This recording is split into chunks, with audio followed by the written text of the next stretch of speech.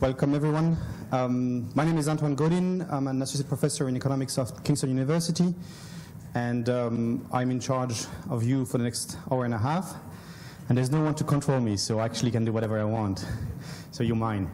Um, all right, so what we'll do today is um, basically I'll try to introduce you to the idea of agent-based Stockflow consistent modeling and try to explain why I think it's interesting to do that, um, to do this kind of methodologies and explain how it works, um, because it might look very complicated and it's not. It's actually lots of fun and uh, well, a bit complex, but it's a lot of fun overall. Um, so as, as, a way to introduce this, um, I, I, think that right now um, we've heard, I mean, probably some of you haven't studied economics before the, the crisis started, so you've always known this difficulties that we're facing right now as the state of affair, and, and it hasn't uh, been a, a, novelty to you. But actually, there was a time before the crisis. And, um, and actually, I, I, I, think that the fact that it's so long implies that maybe it's not a crisis, and it's a transition. It actually comes from the fact that we are, the world in which we used to live is changing, maybe due to technological changes, maybe due to new forms of um, uh, social interactions and so on and so forth. And as such, it is restructuring the economy in which we live. And what we perceive as a crisis, all the, the, the recession and all the, the, the, boom and bust and, and all the suffering that comes out of it, actually comes from deeper roots than only the financial crisis as we describe it. And the reason we're probably asking the wrong question is not because we don't perceive this question, but because we probably don't have the same kind of tools to allow to answer these questions. And so that's, that's what, that was what's driving me um, to start working this project. And we started working with, with uh, colleagues of mine in, in, in, um, in Pavia um, about five, six years ago. Um, and we discovered this, this author, uh, Carlota Perez, um, and she has a very interesting uh, perspective there, where she shows that most of the major financial crises we had over the last few hundred years were rooted into technological change. And she was showing that not only do you have the Schumpeterian uh, uh, creative destruction process and some sectors being obsolete and disappearing and some sectors appearing, but you also had a feedback between this structural change and the financial world. Obviously, the crisis before, in, in the 30s and even before, were less global because the, the financial market in the world was not as globalized as, as today. And, and, and the reason why the, the present uh, difficulties we're, we're living is so large is because we live in a much more globalized world and much more interacted. But still, the roots are the same. And, and she brings the roots of the current crisis to the, the IT revolution started in the 70s and 80s in the US. Um, and Right, and so, so, so when we discovered that, we decided, okay, um, this is a very interesting narrative, uh, but we need to formalize it somewhat. And, and that's when uh, uh, Alessandro and Eugenio uh, and myself started to work on that and, and went on with our research project. Um, so, so that's what I'm going to, cover today. I'll, I'll, I'll, speak a bit more about uh, this idea of uh, transitions and the interaction between real and finance, and then I'll go on to um, the agent-based world and what is, what are we talking about um, and then I'll talk about what we've offered, uh, we and others obviously have offered, which is the agent-based Stockflow consistent uh, framework, and what are the objectives and, and, how we do that, and then I'll try to conclude. So, um, Right, so, so that's what uh, Perez was saying. When she was showing that uh, major technological bubbles uh, appeared, um, then you have here uh, in the 70, uh, 17, 18th uh, century, sorry, um, the 19th century railway UK mania that we observed at the beginning of the century, and then um, the internet mania in, in the 70s and, and up to the crisis in 2000s. Um, and I, you probably haven't seen that, but there was actually a crisis at the turn of the century on the dot net and on the NASDAQ. Um, and so the .NET bubble was there. But then the crisis continued with the subprime and so on and so forth. Um, so our approach was, okay, well, that's a very interesting, as I said, very interesting narrative. Let's try to formalize this. And we decided to use the Stockflow consistent framework because it allows to actually clearly highlight the feedbacks between the financial world and the real economy. Um, And interestingly, Schumpeter's also idea, uh, Schumpeter's idea also were not that many, that much uh, formalized.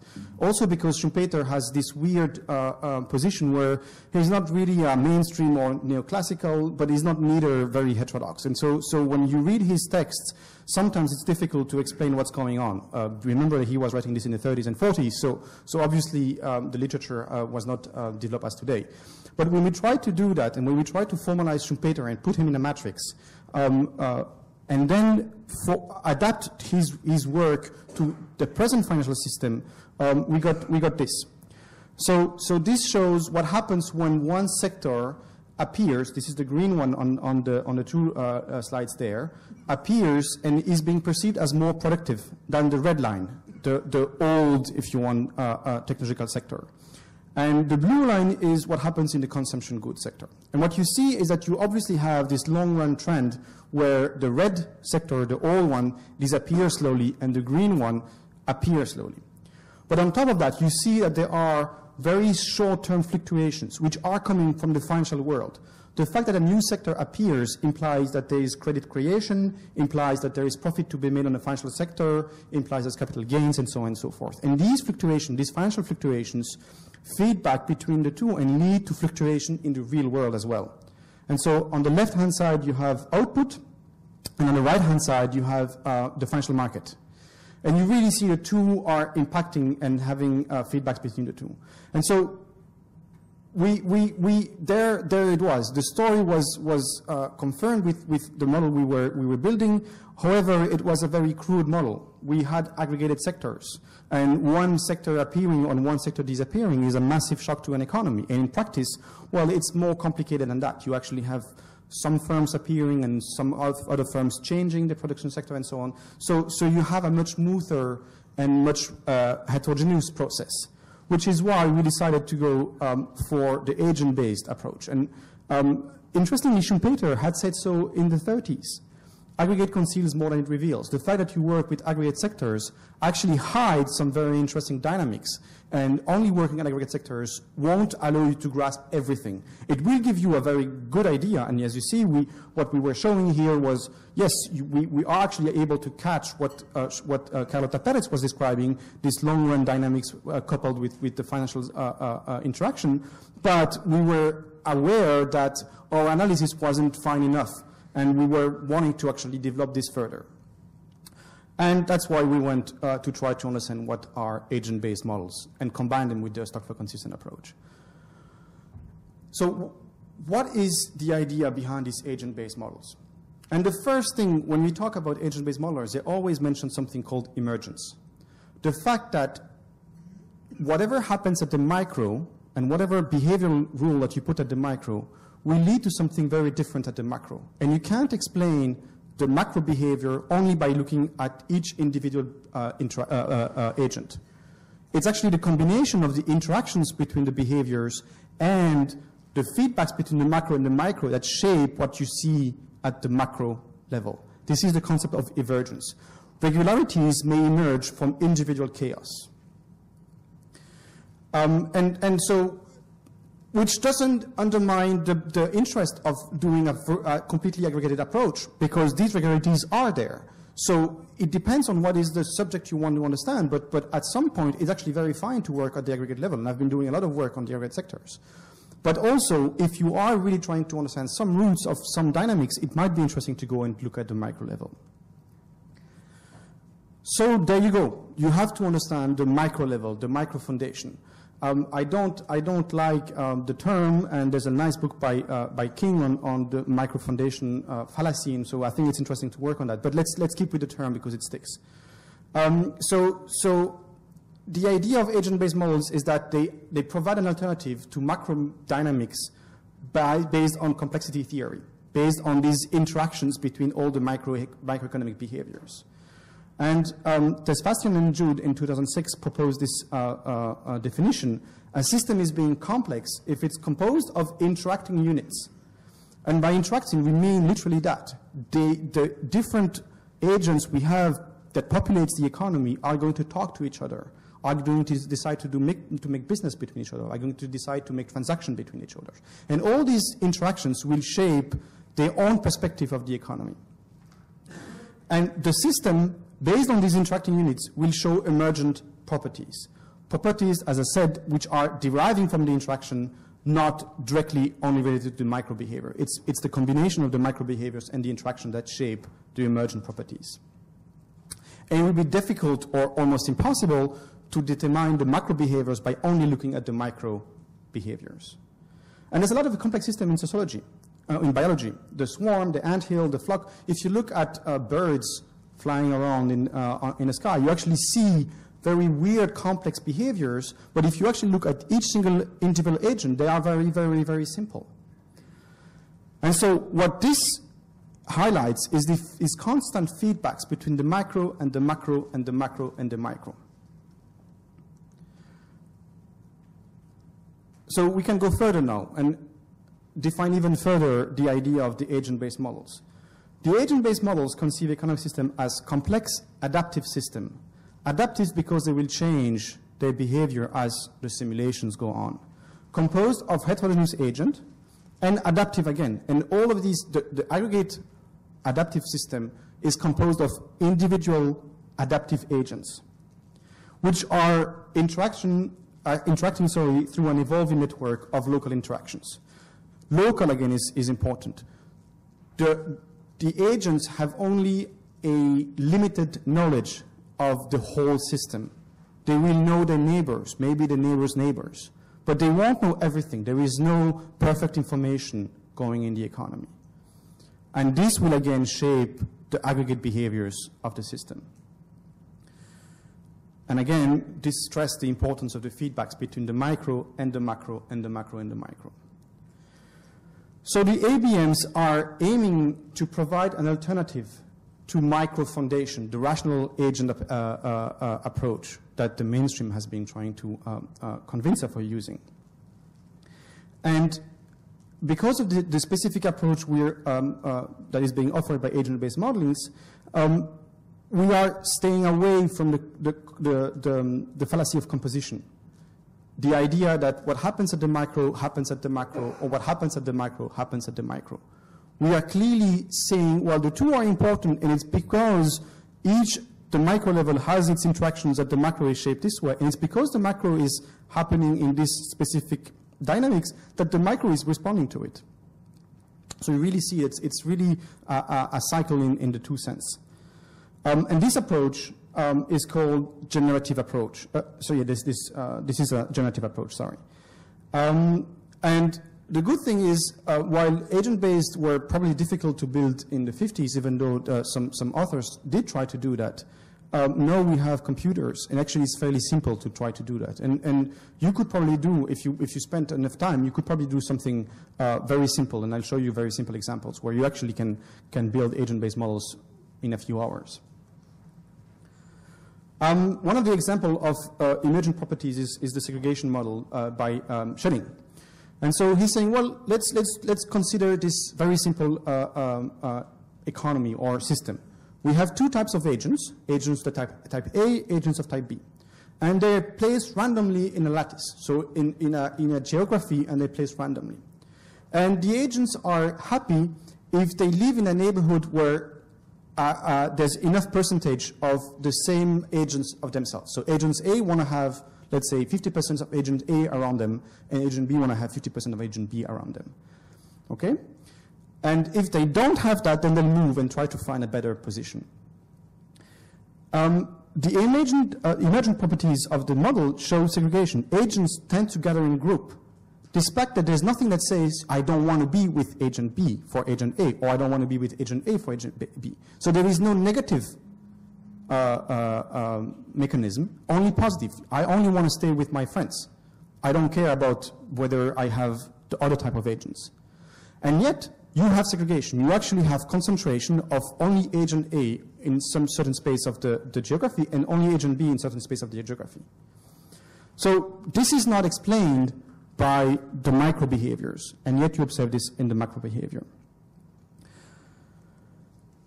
Okay, so I'm guessing you understood the, the logic of agent-based modeling. Let's try to go deeper and understand what are the different features, how you can characterize um, an agent-based model. So um, Epstein in 2006 um, offers um, these features which are common to the agent-based literature. Heterogeneity, autonomy, space and local interactions, bounded or procedural rationality, focus on out of equilibrium dynamics and nonlinearities. And we'll go to each one of them and try to explain what are the concepts behind that. I'm just going to get some water.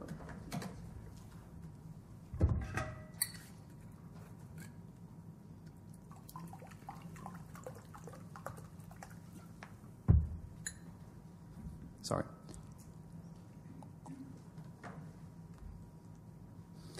Okay, so heterogeneity. Um, the most obvious one is there is no representative agent. There's no homogeneous categories. So the heterogeneity can be defined in two ways. First of all, um, which is present in most of the ABMs, every agent is explicitly represented and can differ from preferences, initial endowments, memory, behavioral rules, and so on and so forth. So you have explicitly each individual, which is different from the others by characteristics, either by uh, only the values, let's say they have the same kind of behavior, but the threshold is different, or because they're endowed with different uh, uh, wealth. Um, and above all, which is present in all the agent, uh, the, all, the, in all the models, the ex post realization shows heterogeneity. And so you may start with initial agents which are all the same, and this is the case in, in uh, the model I'll present in the end. We start with, with, with, agents which are all the same, but because of the interactions, because of the partial knowledge they have of the economy, they will actually diverge and lead to distribution and to heterogeneous agent.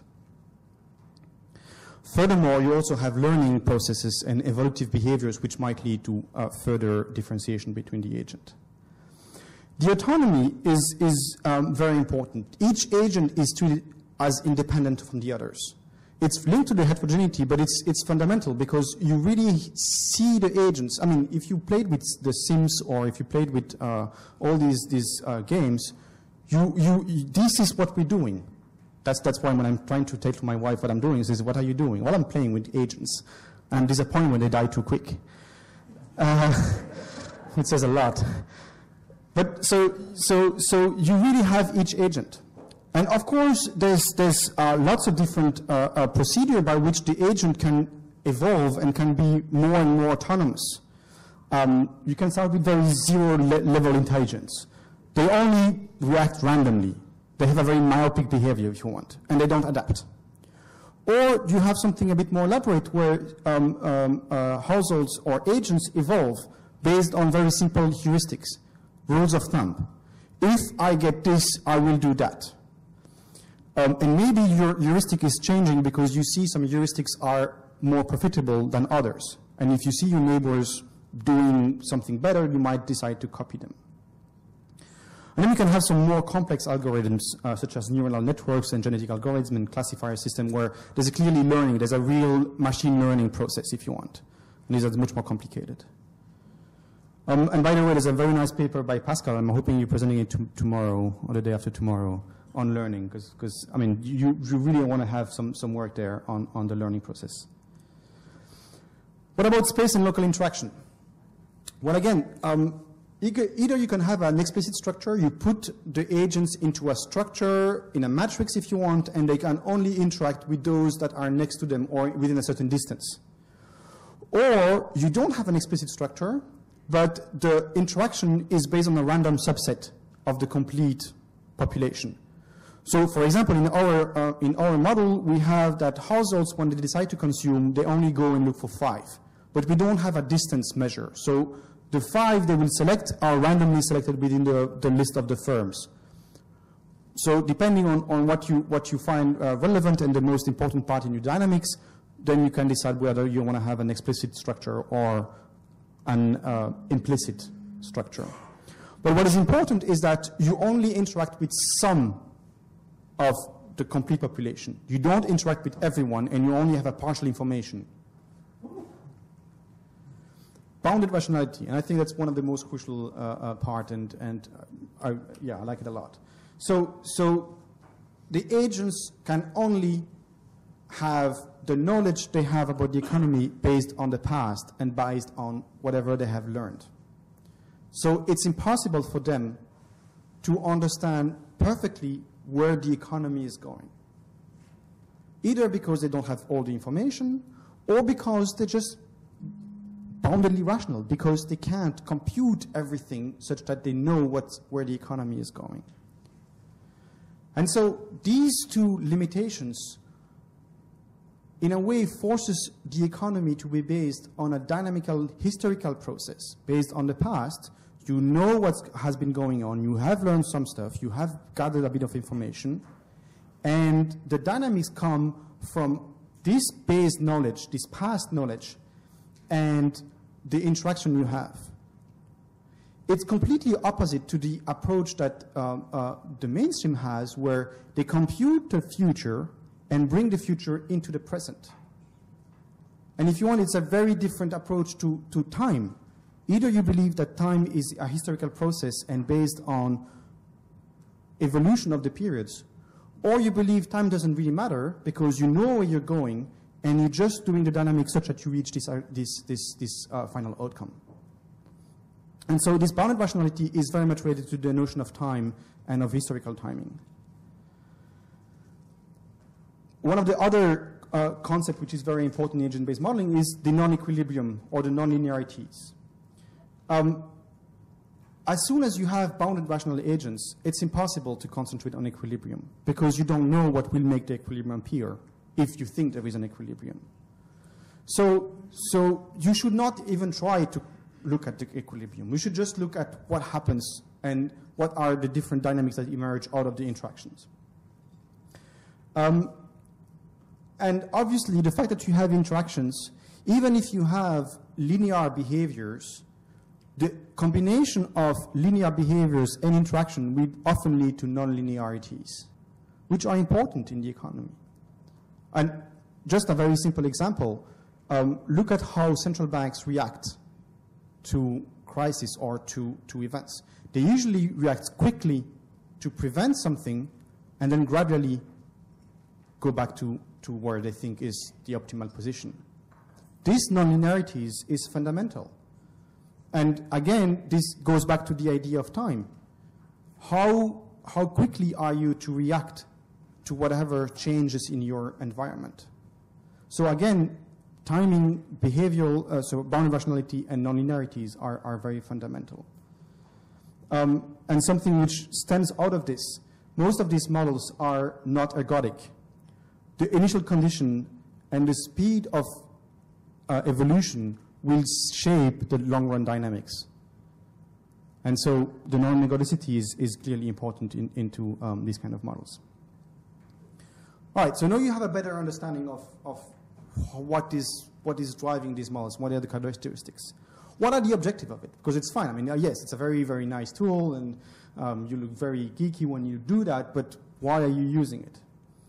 Well, um, again, Tesfatsion and Judd were proposing this, this idea. What are the four objectives that AB models can try to achieve? First of all, empirical understanding. Again, this should be at the heart of any research you want to do. Look at the data. No matter what the methodology you use, empirics should be driving whatever you try to, to analyze.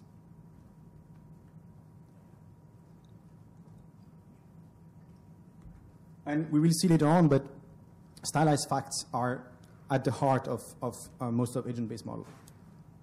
Obviously, once you try to understand what's going on in the economy, then there's also a normative understanding.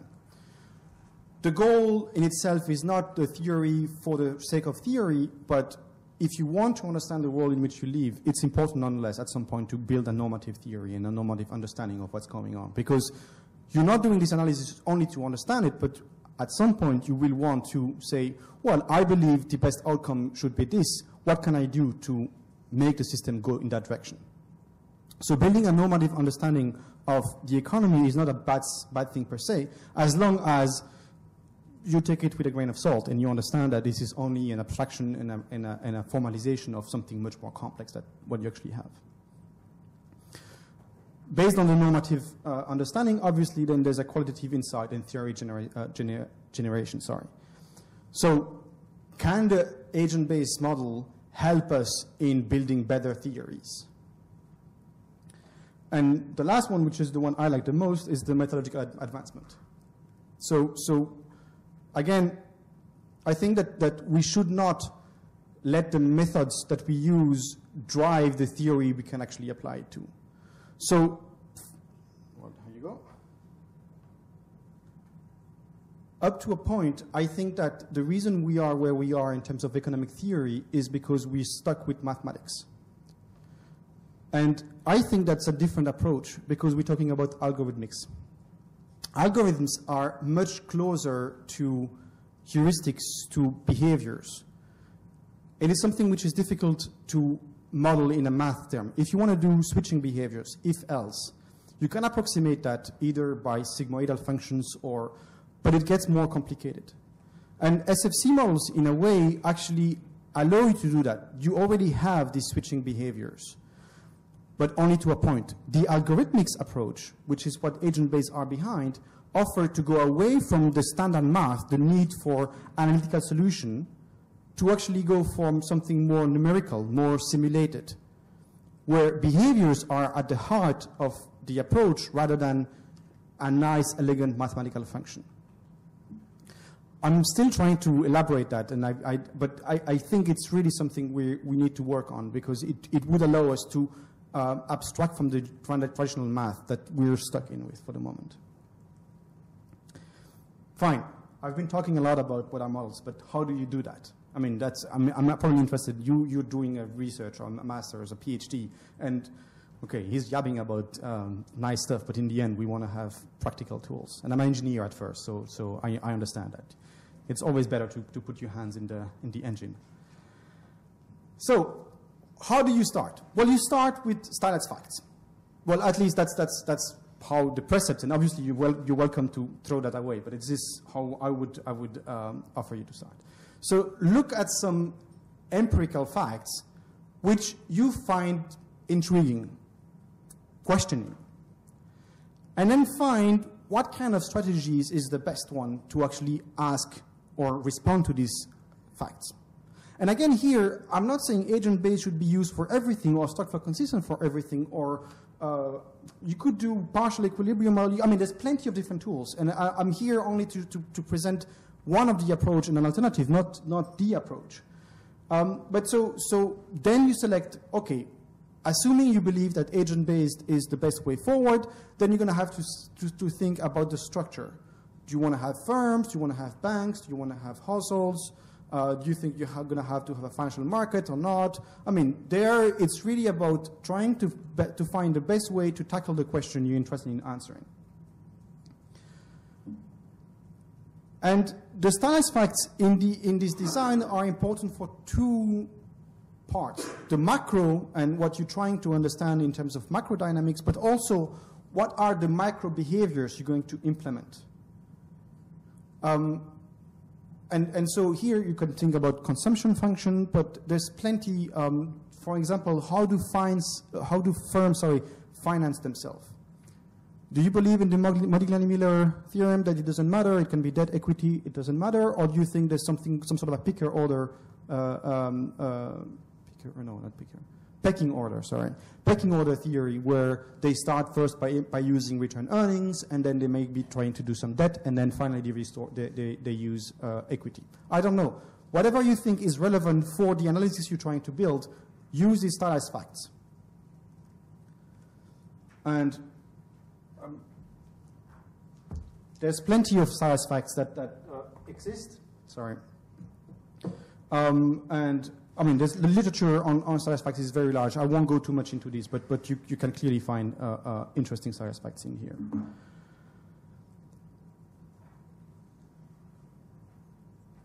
The, the process of building a model is, is a constant uh, iteration process.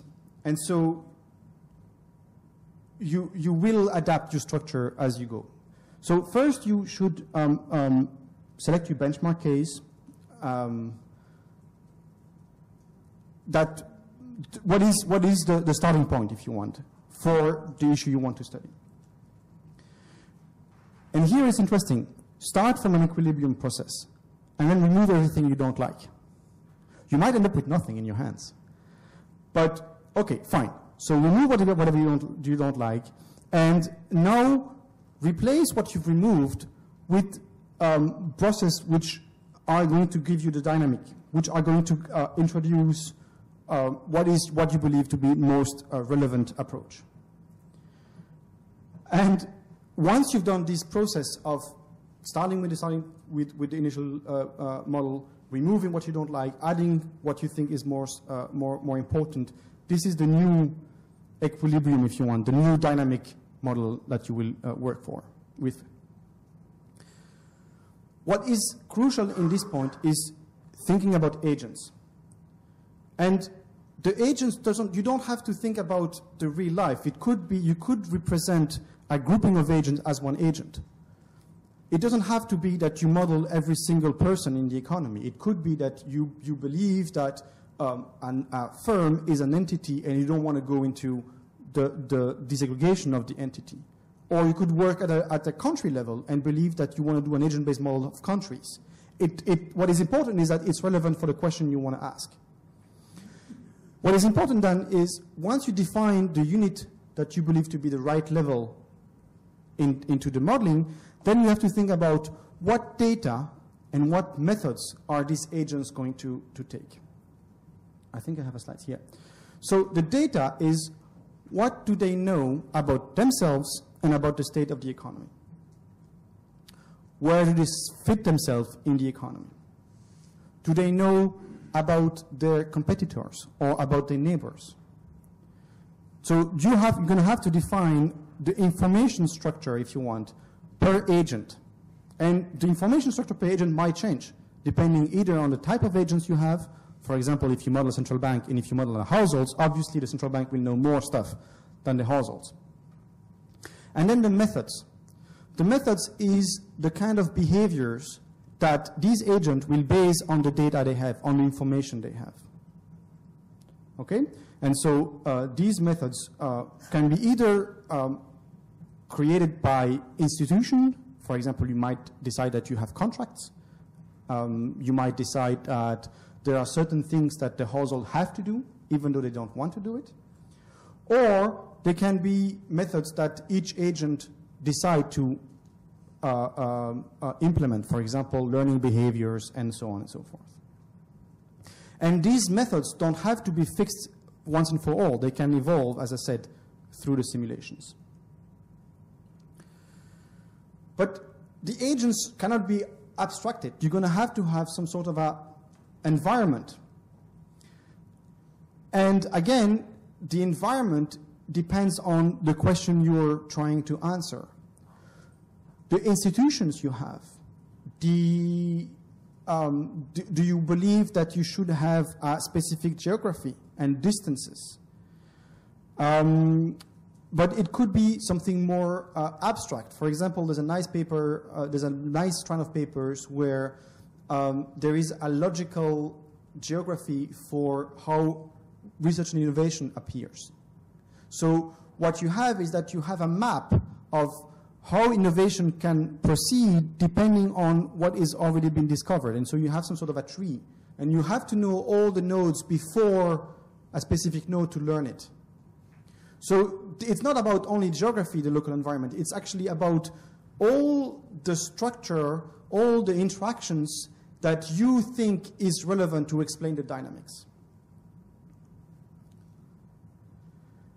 And then something we've been working a lot, which is the observer level. You are going to want to look at what's going on. Because, well, first it's important for the debugging part, but also it's important because you want to be able to collect data. And so here, you have to have a set of procedures that allows you to get this information. And only the information you're interested. In the simulations we're doing with, with uh, the model I've been building, uh, we have five gigs of data for every run. Obviously, we can't keep it all because my computer is too small anyway. But and because it would take too much time to look at that. So, so you're going to have to select and to design, if you want, probes, um, a little uh, um, Eurostat going and just collecting data for you and providing them into a format that you can actually do with.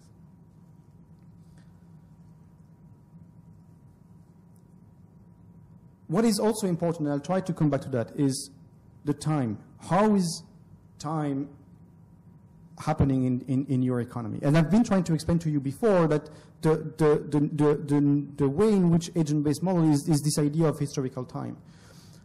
So what's going to happen is that you are going to have a, a bunch of periods which represent um, quarters, years, day, whatever. But within these periods, you're also going to have ticks, interactions between agents. Say, wage is going to be paid, or consumption is going to be made, or hiring, or what have you. The order in which you have these ticks, these events happening within a period is also important.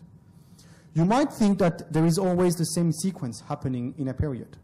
It's always consumption, wage paying, blah, blah. Or you think that actually you want to have asynchronous decision.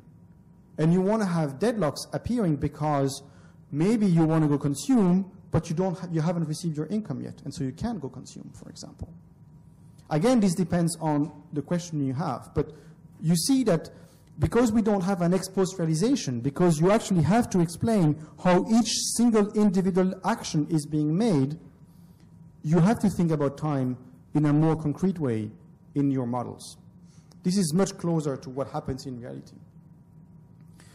You might discuss the fact that, well, these agent-based models are discrete, and we live in a continuous world. Well, I'm going to respond to you that actually everything you do is discrete because it's a single event. Either you consume or you don't consume. And there's actually lots of empirical facts that show that discrete time is an, is an adequate representation. I'm not saying it's, it's the only, but is an adequate representation of the world. So this discretization of time is not an issue per se, but you have to treat it correctly. Okay, so where do you have, uh, uh, uh, finally a bit of, of graphs and, and funny um, pictures, otherwise it's a bit boring. So where do these dynamics come from? Well, first of all, you're going to have interactions. Interaction because of uh, networks, let's say contract networks, for example, between employers and employees, between credit, and so on and so forth, and then on different markets, on good markets, labor markets, credit deposits. And all of these interactions will lead to different agents having different perspective on the market. For example, here we have the interbank market. Do I have something? Yeah. So you have the interbank market, and you see the different kind of prices being offered either on the supply side for the interbank market or on the demand side. Okay? And you, you see a lot of uh, variability.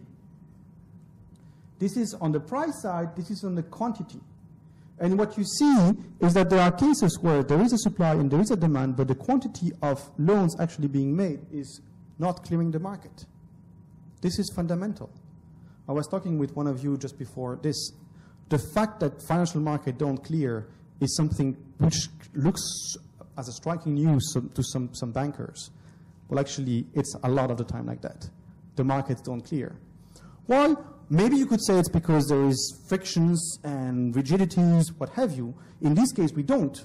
There's nothing that prevents the market to clear, but yet, because of the interactions, because of the, because of the partial knowledge you have, you end up with this situation where there are different prices being offered and, and received, and there's non-clearing market, and there's the volume actually happening is different from the offer and the supply.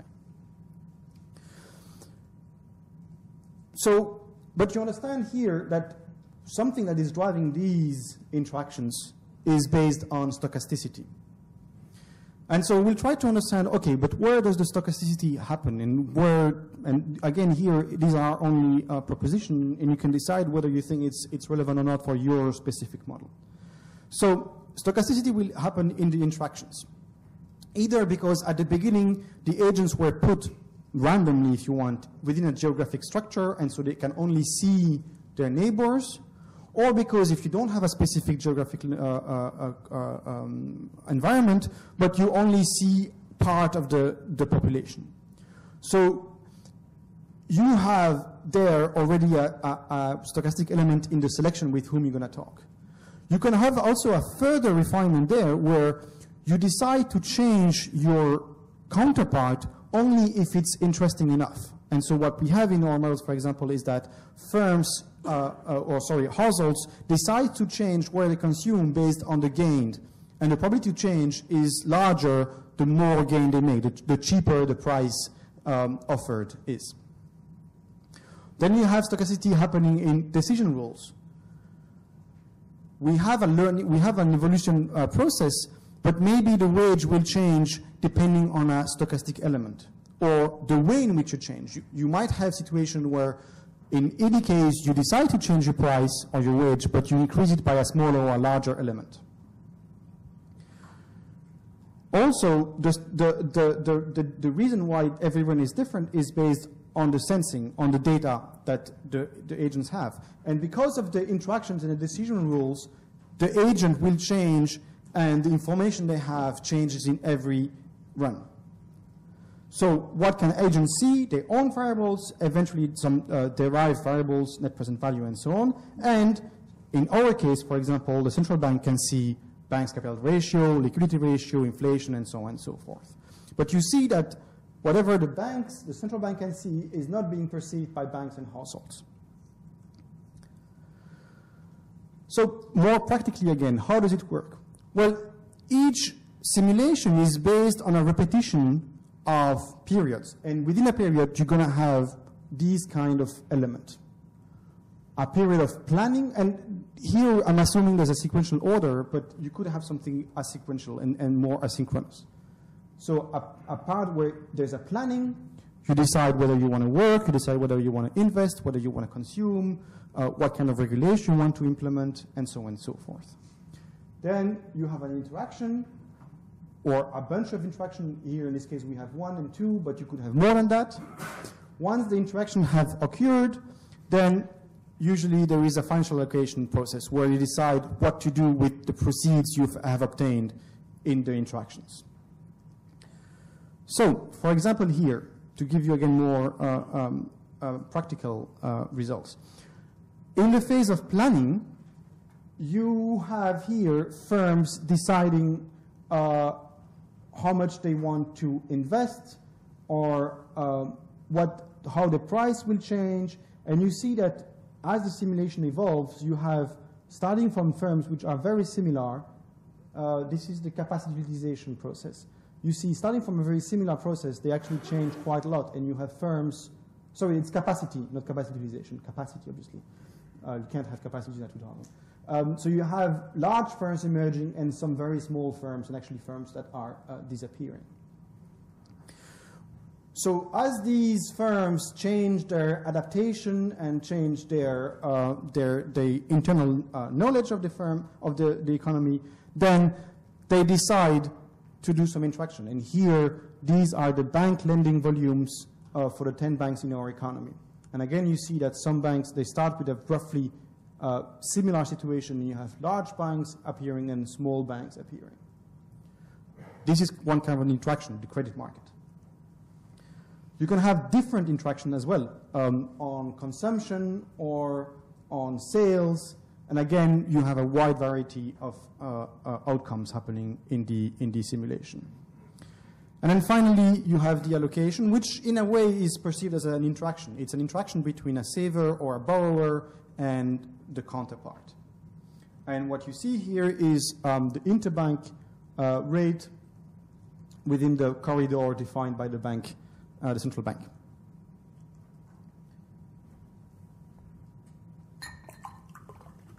So once you've defined your model and run your model and have your simulation, you're happy with it, then you're going to have to do some analysis. And here something which um, seems to me important. Um, these models are complex, for sure. Complicated, maybe, probably. And there is, I mean, in a way, you might ask yourself, why on earth am I going to build such a complex or complicated model? Um, why am I doing it? What's the point? I mean, in the end, if I don't understand completely the dynamics that are coming out of this model because it's too large, then why, why doing so? My answer to that is, well, there's no easy way out. Either you want to understand something complex, either you want to understand complex behaviors emerging in the economy, and if you want to understand these complex dynamics, you are going to spend a lot of time no matter what the methodology you're using. Either you'll work with data and you're going to have to collect a lot of data and do a lot of regression and very sophisticated regressions and so on and so forth, and you'll spend maybe two years doing that, and in the end you have an understanding of it. Or you decide to build a model and you spend two years again fighting with yourself and your computer and then insulting him and so on and so forth. But, and you'll have the same, or you'll have a different understanding of the complex system that happens. My, the reason why I think it's interesting to do agent-based is because you can reproduce your experiments. You can test them. If you don't understand what's going on in the model, you actually have all the data you want to actually try to understand it. So it's not easy, that's clear. But it's because it's not easy to understand complex dynamics, no matter what your tool you use. So there you go. It's whatever you, you, you relate more. Obviously, I'm not saying that one is superior to the other. I think it's interesting to work with agent-based model because you can reproduce your experiment and you're learning a lot while you develop these.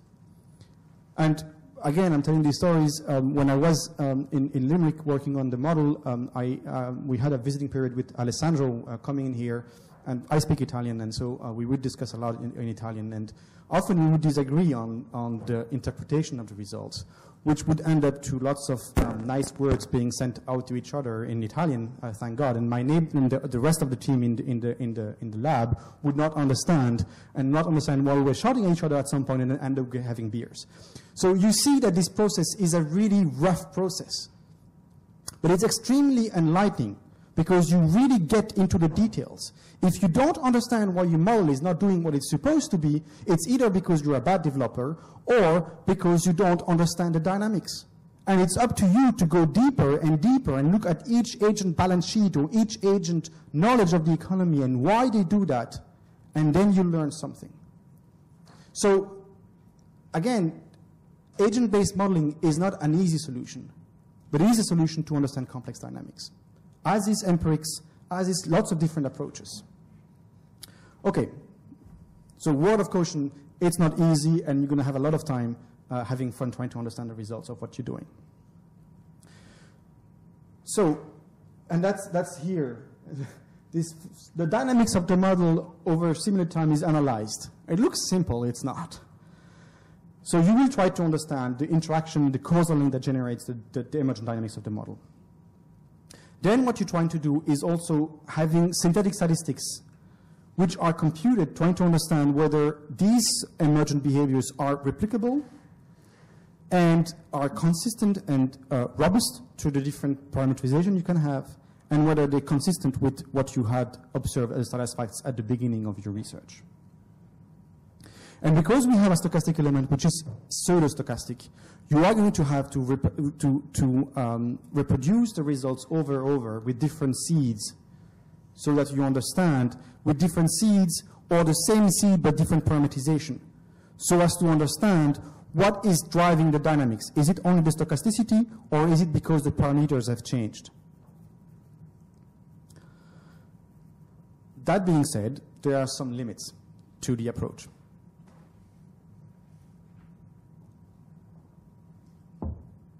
First of all, there's no common language. I think one of the reasons why the stock consistent approach has boomed so much is because, well, we have the matrices. We have the Bible written by Godley and Lavoie, and we can refer to that. So there's some sort of a formalization. With ABMs, it's much more complicated because each and every single researcher has developed its own software, its own methods, its own representation, and there is lack of a common language. There is a, there is a, a work towards that, but it's not finished yet. It used to be the case a lot of time ago that you could do model-to-model -model comparison. So you would strip down two models and say, okay, what are the common elements to the models? And then try to see, okay, where do they diverge and how can you compare them? But doing this model-to-model -model was actually a workshop for two days. And obviously, well, you know, the pressure on academics is such that you can't spend too much time on working on a different model, on, some, on a model that is not yours. So, and also the theoretical arguments that you can put into a model are very different. And you might have models where they believe that Say's law applies. Or you might have models where you think that uh, money has to be exogenous. So the, the theoretical background of the agent-based modelers, because the agent-based modeler is more of a methodology, not of a theory, lies, uh, leads to very different uh, type of uh, uh, models and behaviors. I talked about the lack of comparability, um, but also the definition. Is GDP in a model composed only of consumption and investment because you don't have the government, or actually you have government? But if you have the government, then you have a much more stable uh, GDP than if you don't have government. So comparing two output, which might look the same, it's GDP. The definition of GDP is actually fairly standard. Yet, because you have some sectors or not, might lead to very different characteristic of the GDP. And if you want to compare the, the variation, the standard deviation of GDP between two models might lead to very different results. Not because the models are completely different, because you just have no, no government spending, for example. And there's a lack of standard share techniques. I mean, the, the, the, the, approach is fairly new, and so there's still a need to define rules on how do you build a model, how you present it, um, and so on and so forth. And then there's a perceived lack of robustness. I, I think it's only perceived um, because uh, actually there's a lot of work being done on that. But um, because of the lack of standard uh, validation and standard uh, approach, it's still um, um, a work in progress. And here again, the DSGE modelers have done an amazing job at that. They have their website, they have their software, Dynare, and it's very easy to compare them. And that's why the approach is also gaining lots of uh, uh, interest. Aside from the, the theoretical uh, uh, uh, content which you might discuss, the fact that it's very easy to compare them, the fact that it's very easy to use them is attractive. I'm going to spend a bit of time on validation um, because I think it's very important. The first point, and I think it's, it's very, very important, is that a model is an approximation of the real-world data generating process, RWDGP, by means of a model data generating process, MDGP. Let's say you actually find that the results are almost identical to the RW, well, you are, sorry, your MDGP is equal to the RWGDP. Or, or rather, the results are the same. That doesn't mean you actually have found the data, generating process. You have found one model that actually can replicate whatever happens in the economy. But there might be very different models that lead to the same process. So it's not a one-to-one. However, you might try, you still you are going to try to explain why did you do spend two years on a model and it's actually not a waste of time. So there you can actually try to find some validation procedures. First of all, you need to check the robustness. Are the models replicable for different kind of parameters, of uh, different kind of uh, initial conditions, and there you use Monte Carlo simulations. And you're going to let your computer run night and days before you actually have enough data and you can compare the results. Do the same simulation over and over with different seeds. And there, um, I'm using R to do this kind of stuff, and there's a nice package called beepr, at the end of the simulation, it's a beep, and so you can go elsewhere, sleep, and maybe at some point it beep, and you can wake up and go and check the results. Uh, your wife will love it, I can tell you that. Or wife or husband, of course. Um, okay, check the robustness. Then do a proper empirical validation against real-world data. Look whether um, the input you put in the model actually makes sense with the real-world data. Um, and we'll talk a bit about the calibration later on. Then a descriptive simulation.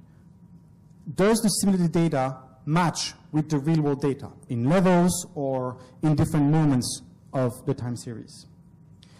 Check the predictive validation. And there, that's a very tricky one, especially for agent-based model. But can you say something about what will emerge afterwards based on a replication of a, so, so you, you divide your sample into a uh, um, uh, learning process, and then you check whether you actually are able to, to uh, replicate the out of sample, if you want. The problem is that we have nonlinearities and randomness, and so um, it's, it's, it's very complicated to, to uh, uh, say, as I said, that even if you have validated, you have found the real one, uh, the real data generating process. Um, and there is a need for uh, computational simulation to replicate a lot and a lot.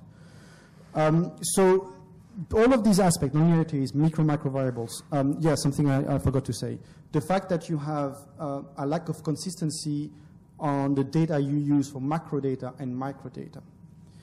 Often you might find uh, that the kind of behaviors you observe at the micro level is not consistent with what you observe at the macro level. Of course, it makes sense because you have emergent properties, but um, the, the, this lack of consistencies at the data level might lead to difficulties when you try to validate your model. Um, so, so it is complicated, as I said, to interpret the outputs of an AB model uh, and in terms of the causal links between uh, what, what, you, what you see. So, so you really have to, to uh, uh, work a lot on, on, on this. Um, there's a nice paper by Fagiolo and al. in 2007 and AB, sorry, two papers, where they uh, do a critical review of the different influences approach. I'm, I'm going to go very quickly over there um, because I don't have that much time, actually. Um, but so, so the, the first two, the indirect, indirect calibration approach and the uh, Werker-Brenner approach is based on, on the same kind of idea. So you, you identify the stylized spikes or the macro regularities um, or micro regularities. And this is, if you want, your benchmark. That's what you want to uh, try to understand. You, you build your model as close as possible to observe micro behaviors. Um, you restrict the parameter space to either data that you actually can, can uh, observe, or if you can't observe it, you restrict it to values that seems uh, relevant to you.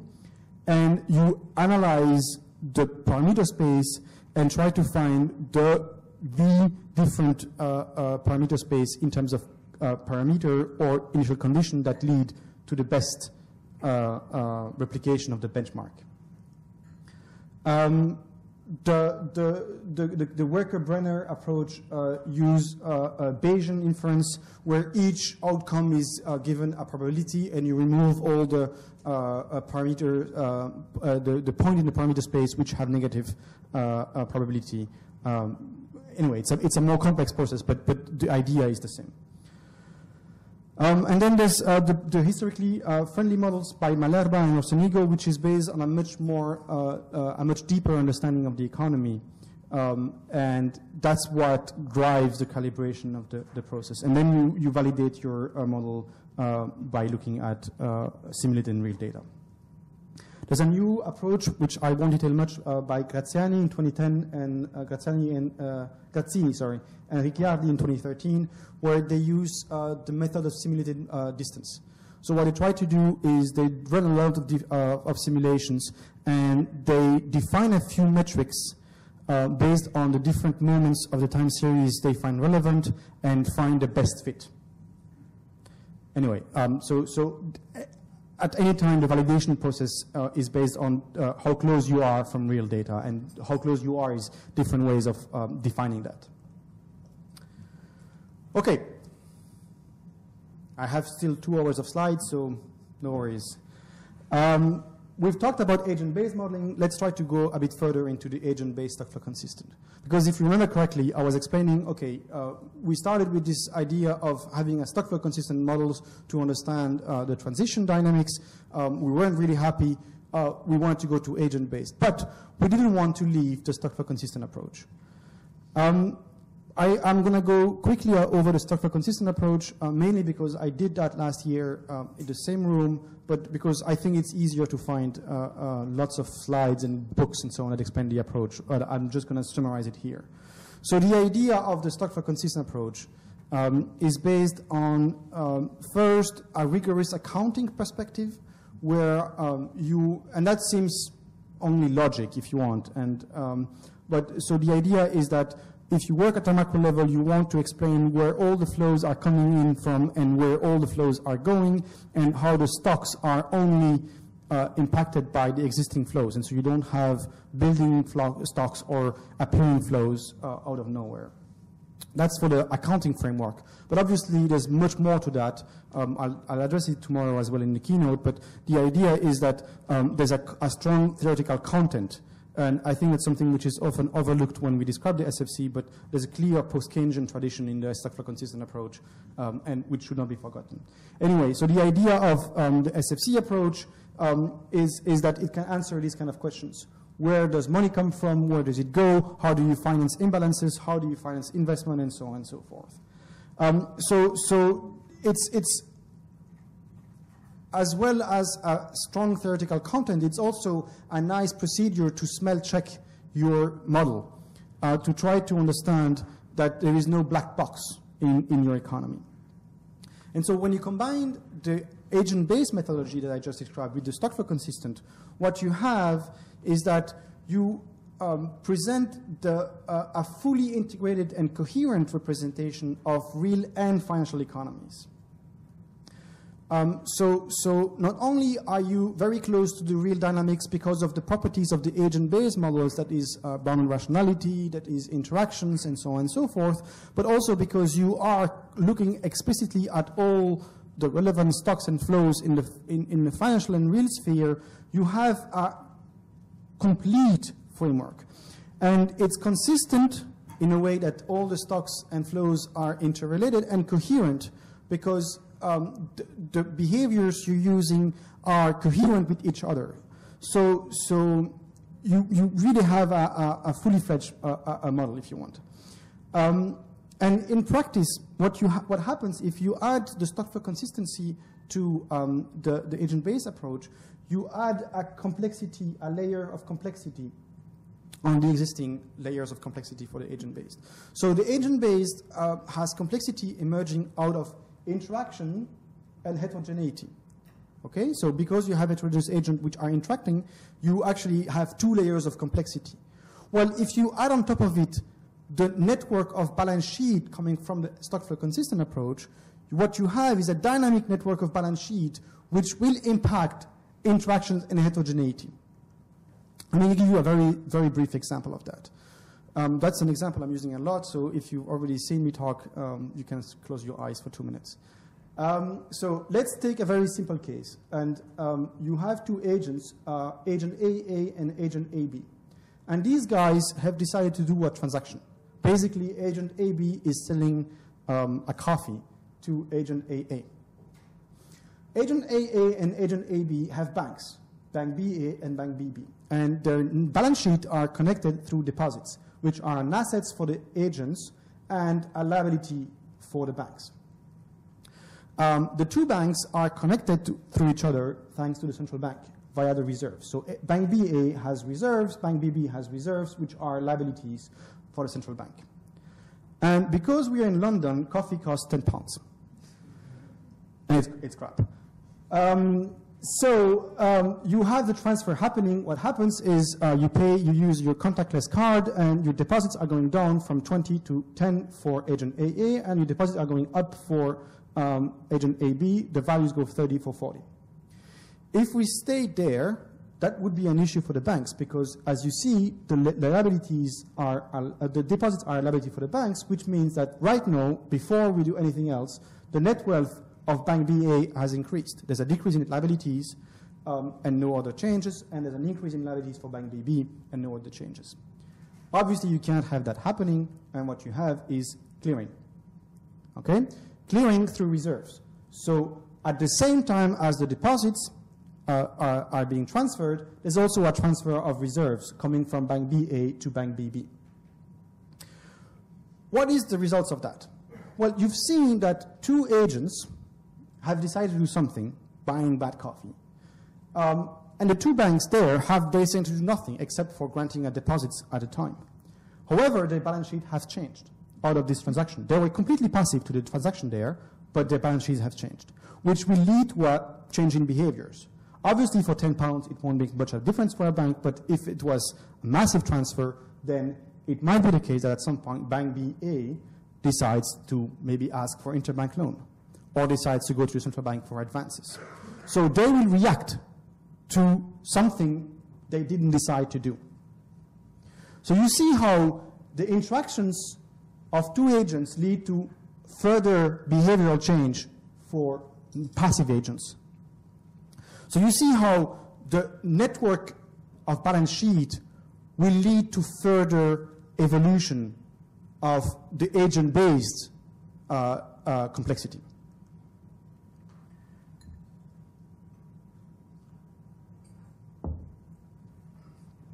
The ABSFC approach has its own challenges. Um, there's only a few examples of real ABSFC project. Um, Kinsella, uh, Pascal, um, Riccetti, and the EURACE project. Um,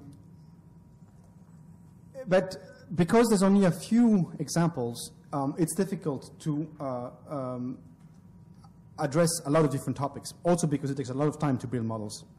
So um, one, you have a difficulty of addressing a lot of different uh, topics, so it's a very narrow approach if you want. And second, um, it's very difficult to compare them. Um, again, as I explained before, there is no um, common language, there's no common norms to actually compare these. And we know each other. So I mean, there's, there's what, 10, 15 people in the world doing that. Um, so, so there's a, there's, a, there's a need, or if you want, there's a lack of uh, um, computational techniques. And probably what uh, Pascal and myself are doing are very close to each other, but it would be very different from, from what the EURACE project are doing. Uh, at least in the, in the practical uh, approach. What we're doing in the essence is probably very similar, though. Um, so there is a need for, uh, um, or there, there is a lack of uh, ex, uh, existing tools. The second approach, the second limits we were facing was most of these agent-based models are based on matricial computations. That is, um, the representation of the world was done through matrices, and you would update the matrices. So a matrix would contain, for example, all the agents, or the households, and uh, so all, each row would be an agent, and each column would be a characteristic, its age, its uh, wealth, um, and so on and so forth. Um, this matricial, uh, matricial, representation is actually very efficient in terms of computation, computational power. But as soon as you start having complex models, such as a model where you have um, time structure for loans or for capital stock, that is loans that last for more than one period, or capital that uh, can change at productivity, you uh, quickly realize that you would need a three-dimensional matrix. A matrix where you have each, each agent would be a row, each column would be a characteristic, and then you would have a third dimension for time, because you need to track down time as well. And dealing with 3D matrices starts being much more complex. And the code is not easily re reusable, and if you want to change a tiny different uh, thing in your model, you need to rewrite most of the code. So when we started doing these ABSFC models, we couldn't use the matricial approach, which is, again, very efficient if, you, if you're doing some, something uh, simpler or if you do partial equilibrium or something like that. So um, we decided to go for something more flexible and also sometimes uh, more intuitive. And the idea was to work with object-oriented languages. What is an object-oriented language? Um, it's it's an it's it's a, it's a, a, type of uh, software where you actually have each agent as an entity on its own. It's a piece of code where you define the data, as I talked before, that is the information it knows, and the methods it can do to update these, these, these data. Um, and these allow us to actually literally have sim-like computations, where each agent is its own independent uh, uh, piece of code. Obviously, this has drawbacks because you uh, increase the quantity of data you need to store all this information. And it's less efficient in terms of computational power. So our simulations are much slower than uh, uh, what you would have if you had an, uh, a matrix, matricial approach. But because we use object-oriented, we actually can uh, also have this event-based approach. Remember the idea of time and the fact that you can either define a sequence of ticks happening, first you pay wages, then you pay, uh, uh, you consume, and so on and so forth. Well, we can change that. We can make that asynchronous. Because what happens in our economy is that agent will receive information, events, and they can decide whether they want to react to that or not.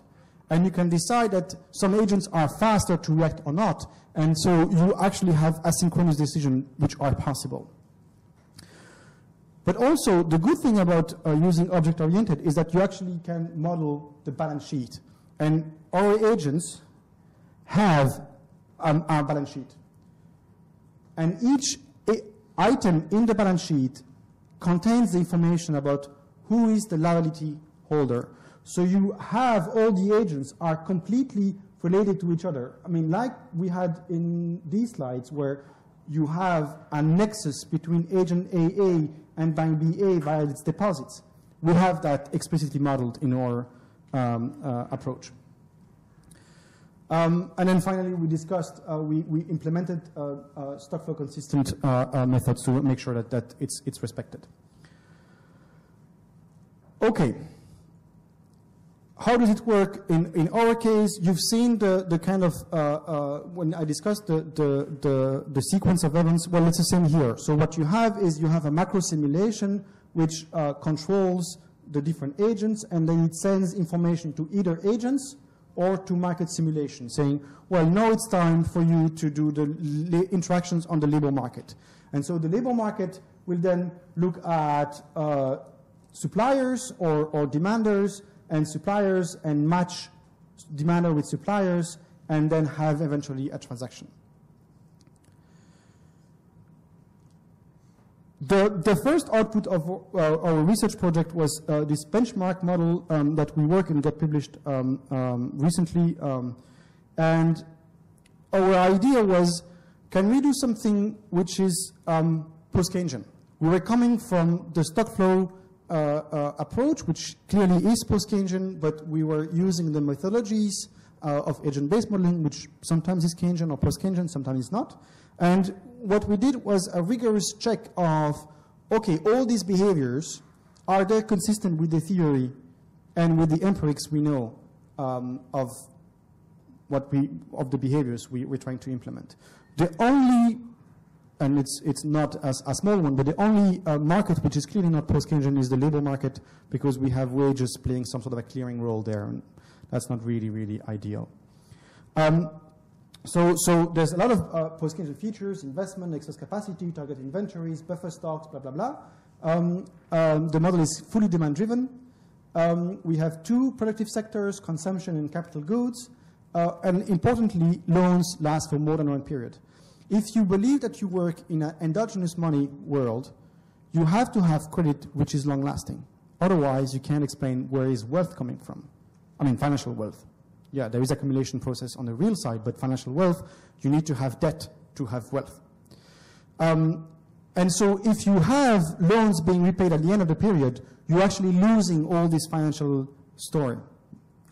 Um, so we, we have firms having multiple loans with multiple banks for more than one period, which creates a strong uh, uh, um, historical component into the firms. Firms when firms are being hit by something, it takes a lot of time for them to, to change because they have loans for 20 periods. And so they will still be repaying their loans 15 periods after they started it. So you have a lot of inertia coming from this, which is important because otherwise your models are very, very volatile. Um, and, and the SFC is directly implemented because we have each agent with its balance sheet. That's how it looks like. Um, so yeah, I've talked about the firms. Uh, consumption firm, investment capital firm. Uh, you have households which are consuming. They're getting wages and dividends from firms. Um, they deposit at banks and they receive interest by that and dividends from banks. The banks grant credit and receive interest from that. Um, there's also firms have loans and deposits, and the cash flow is something very important. I'll come back to that at some point. A central bank and a government. Um, we call it the, bench, the benchmark model because we believe it's the, the, the basics that you should have um, if, if, if you want to do a, a, an agent-based stock consistent model. Um, one of, the, one of the, the, the, important feature is called the common decentralized matching mechanism. That's a very uh, bad word, just to say that basically um, uh, when you have interactions uh, the demander will only meet with a subsection of the suppliers. And um, the, the, the, the, decision between, the, or the allocation between demander and supplier depends on the relative prices and on a switching behavior which implements uh, the idea of uh, inertia. You don't want to change unless you actually have a significant gain from changing. Um, the price are, and interest rate are based on adaptive rules, based on um, uh, um, expectations of results and or targets and realization of results. Um, and it's based on the cost plus uh, pricing mechanism or uh, um, uh, cost plus interest. So that is, that is um, uh, banks decide a markup on the interest rate, on the base interest uh, risk-free interest rate. Uh, wage are uh, adapted, and that's where the, the, wage is a clearing process because if uh, unemployment is too high, then households might decide to decrease their wages, and um, I'm sorry to say so. Um, and then something very important, the credit supply. Um, we have that banks are actively managing their, their balance sheet, where they look at the cash flow generation process of firms, and so they decide to restrict credit if they believe that granting too much credit would lead to not enough profit being made to actually uh, uh, be able to sustain the debt. Right, the calibration procedure we followed. The calibration procedure we followed is based on the stock flow consistent approach. Um, and it's, I have to say, it's very arbitrary. And um, if you have suggestions, I'm more than open to hear uh, any suggestion here. Um, so the idea, what we did was, um, let's look at the aggregate uh, SFC model if we assume that all the agents are homogeneous and equally distributed. So all of the agents are the same and the network structure is uh, symmetric. Um, and that would lead to no emergent properties because all the agents are the same, so the aggregate behaviors is equal to the sum of the uh, singular uh, uh elements. And what we do then is we calibrate the SFC model for a steady state. It's a stationary state on the real level, that is the real output is constant.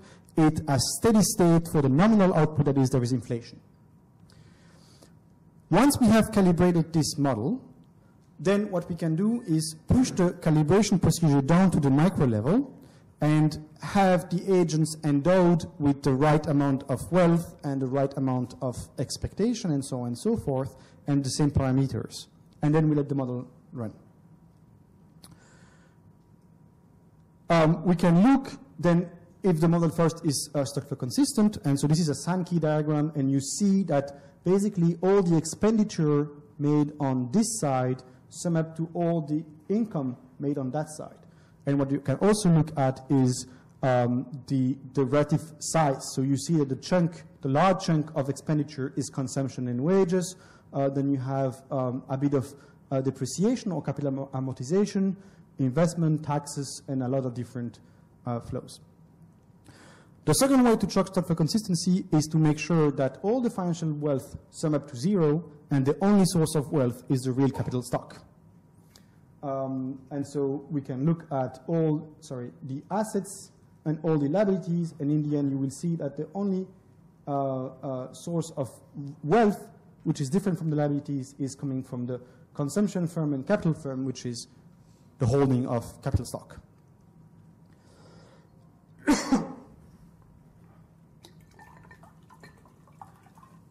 Once we have done that, then we look at, as I was explaining, how can we validate this? And I'm, I'm, I'm finishing, so bear with me for five more minutes. So we look at um, either the auto and cross correlation between the simulated data, the, the, the solid line with the, the little uh, bars, and the real world data which is coming from the US.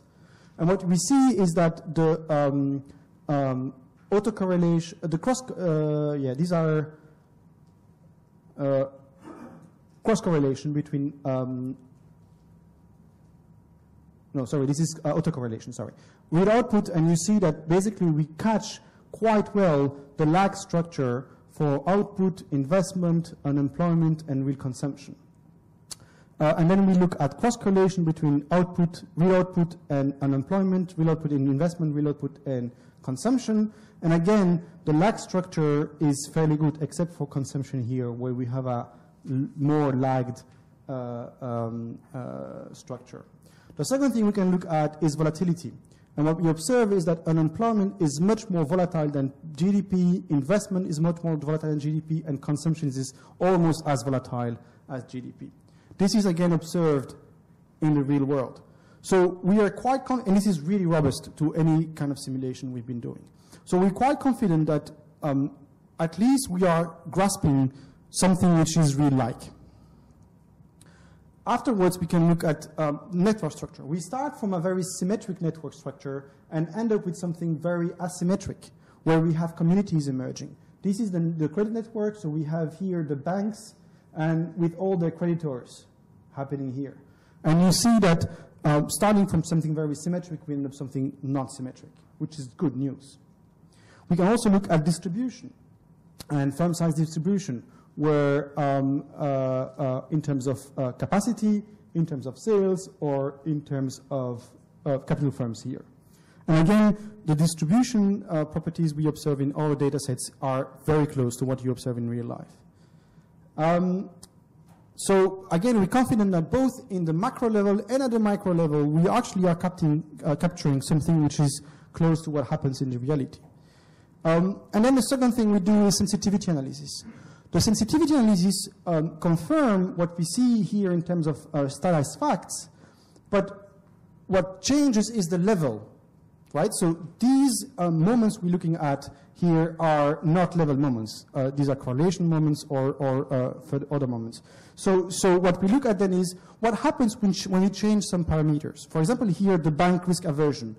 The banks will, credit, will grant more or less credit depending on how confident they are whether their customer can repay the, the loan back. If they are much more risk averse, they, they grant less credit. And what is interesting is that, again, we capture what is actually describing the theory.